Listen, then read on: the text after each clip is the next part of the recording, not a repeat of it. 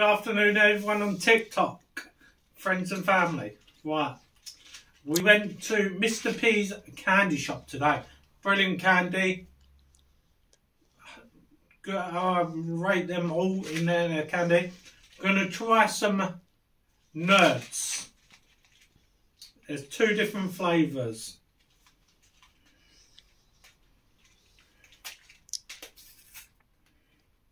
Popping it into the packet.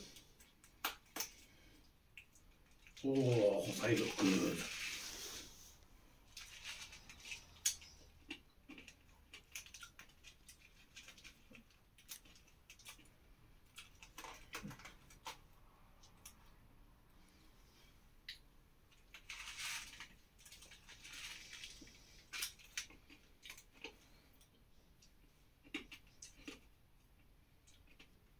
I rate them a 9 out of 10. There's not that much flavour in them. Everyone have a good evening, good day, stay blessed, peace.